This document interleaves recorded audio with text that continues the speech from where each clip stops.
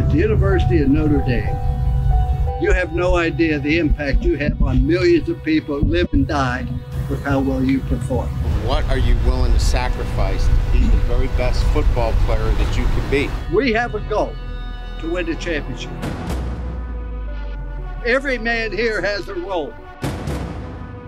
Then you have to do that with the very best ability and with enthusiasm and a feeling that you're contributing greatly. That's your role. Number one, confidence and trust your teaching.